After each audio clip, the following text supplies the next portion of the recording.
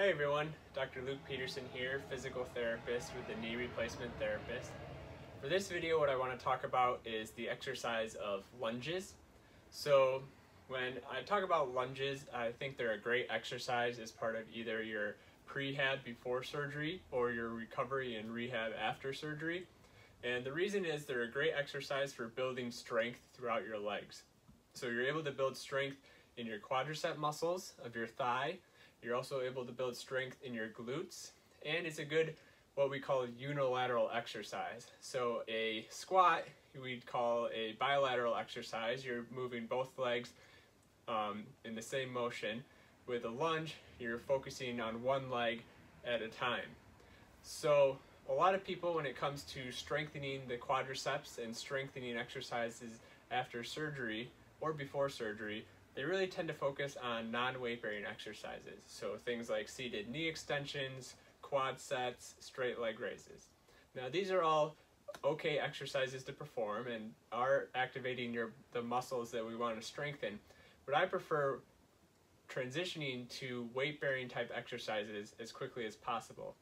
Some of the benefits of weight bearing is one, you in addition to the strengthening, you're strengthening not just one muscle group but multiple muscle groups. You're also doing weight bearing movements that are very functional and typical of what you might have to deal with in your day-to-day -day life and activities.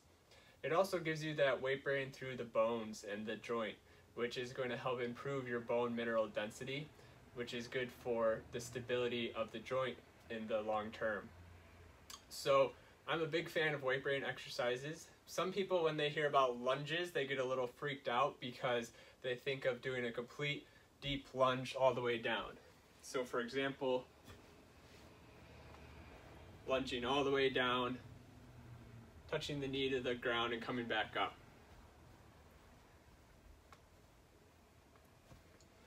But the good thing with lunges is we can modify that so that you can start to get the benefits of the strengthening and the exercise without having to bend all the way down and being in a position where you might not feel comfortable yet.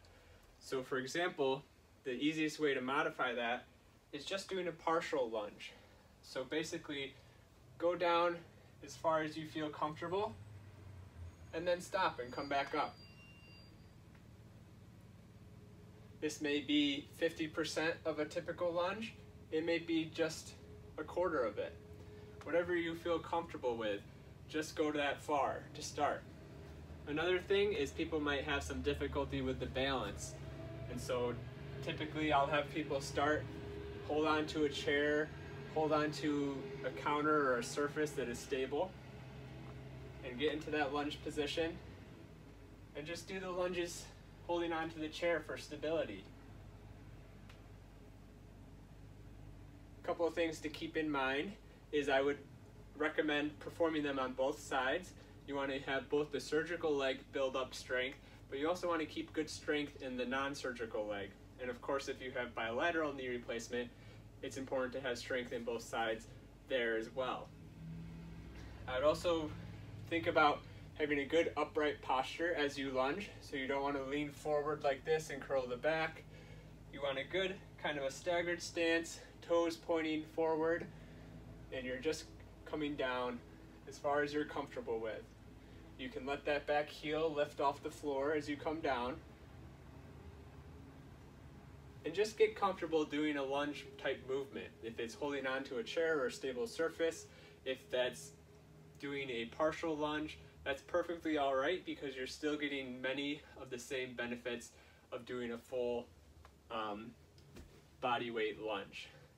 And of course, as you get more comfortable, it's great to transition.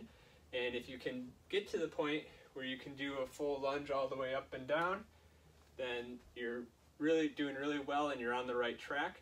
And then we can start to incorporate some different variations of lunges, such as reverse lunges, side lunges, and things of that nature, which is both fun and a good challenge for your body and your strength.